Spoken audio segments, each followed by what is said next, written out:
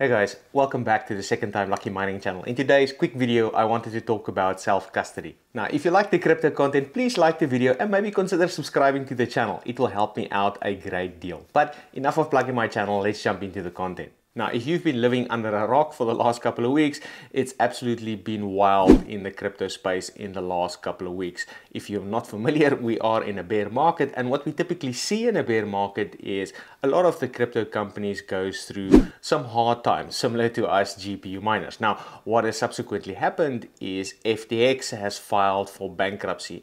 And, you know, if you're not familiar, that has or is a massive exchange in the crypto space. So it's a centralized exchange. Now, with that uh, exchange going bankrupt, there's a lot of people that potentially will be losing their money. Now, it's in times like these, or let me correct myself, any time is a good time to talk about self custody, but specifically in this space, especially for all the newcomers in the crypto space. Now, if you're as old as I am, um, potentially you have lots of money and learn some hard lessons. And that's why I feel comfortable to, to speak to people about the topic of self-custody because I've learned unfortunately the lessons the hard way and I lost some money along the way. Luckily you know that has been a long time ago. I've learned my lessons. I do a lot of things differently but I thought I'll talk about some of the things that you can do to try and mitigate your risk not just now but in the future in case more of this is going to happen. And make no mistake, more of this will happen in the future. Now, the other thing that I wanted to mention is if you're in the crypto space, make no mistake, I do see a place for a centralized exchange. I'm not sure about you, but most of my expenses are still in dollars, unfortunately, and I can't specifically pay in crypto. So what does that mean? It means that my day-to-day -day living expenses, I need to use actual dollars. And that's where I see the specific point or the purpose, or at least in my opinion, what I use a centralized exchange for. It's only for a on and off ramp to either get my dollars into crypto or my crypto into dollars. And that's the purpose, or at least in my opinion, that's where I see the purpose of a centralized exchange.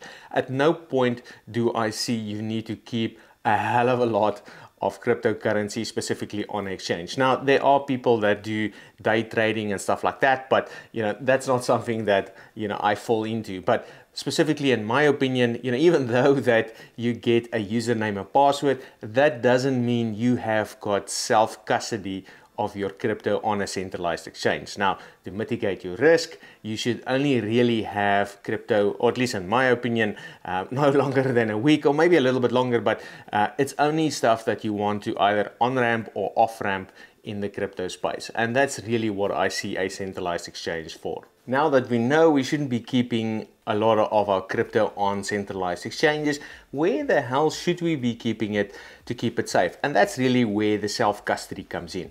And at least in my opinion, you know, I really don't care where you keep your crypto as long as you've got self-custody of it. Now, what do I mean by self-custody?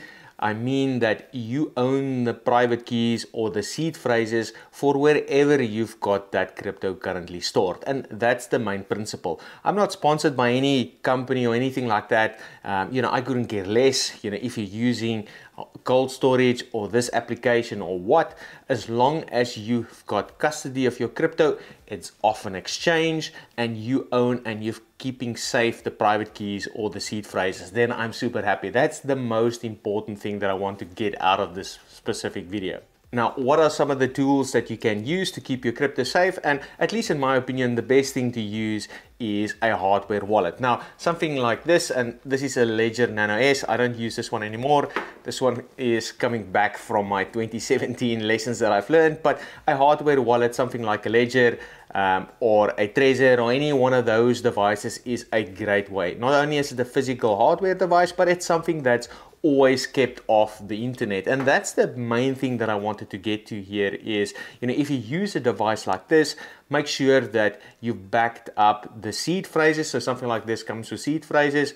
Make sure that you lock up the physical device in a safe or in a safety deposit box or wherever you want to keep it safe but have the private keys um, or the seed phrases specifically for that separate in another area just to make sure it is safe the big thing again, as I mentioned, is most of the time off the internet. It doesn't really help, you know, if you've got this thing connected to your computer the whole time to see what's going on. Now, um, you know, talking about the ledger here as i mentioned i don't specifically use this anymore this is an old device uh, which is there's nothing wrong with the old device but uh, the size constraint on the device makes it so that you know if i want to transfer crypto in and out of this i always have to add an application and remove an application. So that's a little bit of a pain. Uh, the nano x is a little bit better. But again i couldn't care less which hardware device do you actually use.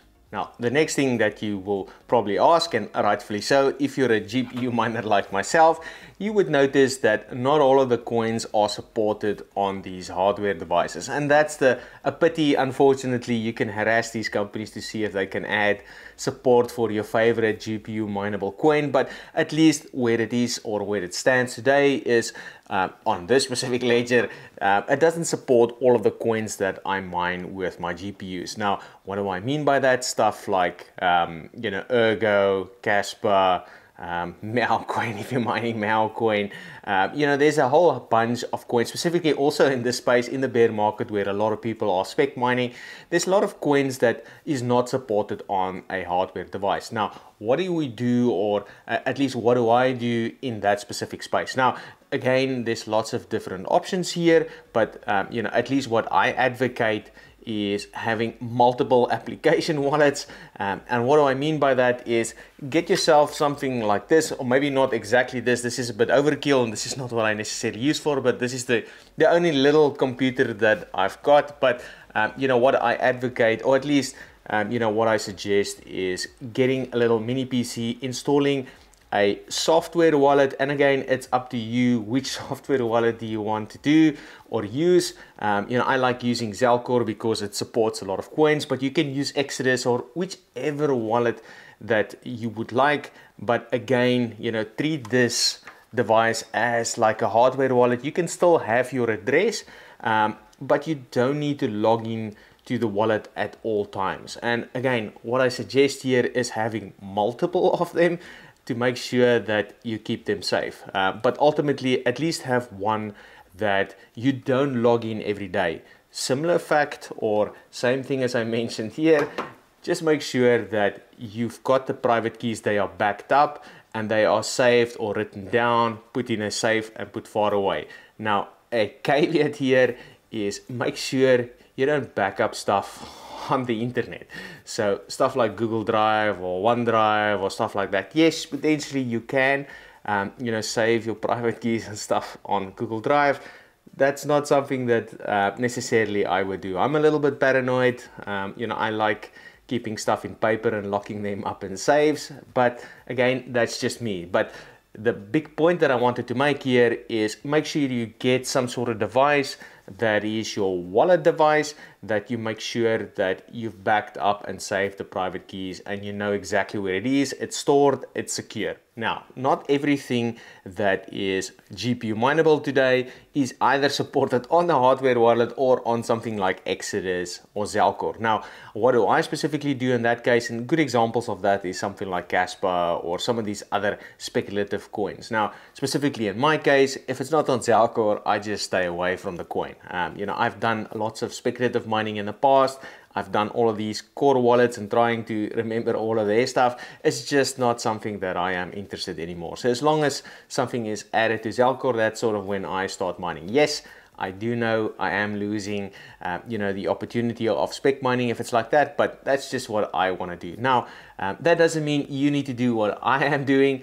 Uh, you know, if you are or you are speculative mining all of these things, what I would suggest is at least have a look at the hobbyists or um, the Mining Kings video. They've got a good video around, you know, how they're using virtual machines to keep their different core wallets specifically safe. So I'll leave a link in the video description in case you are interested in that. But again, it's a similar principle to having a little computer here. In that case, I've just got a server um, with little VMs um, and each VM is dedicated to a specific core wallet. So again, same principles, make sure that you've got the private keys and everything specifically backed up. That's it for this one guys. If you've liked the video, please like the video and maybe consider subscribing to the channel. If you didn't, please specify in the comments what you would like me to change. Otherwise, I'll catch you in the next one. Cheers.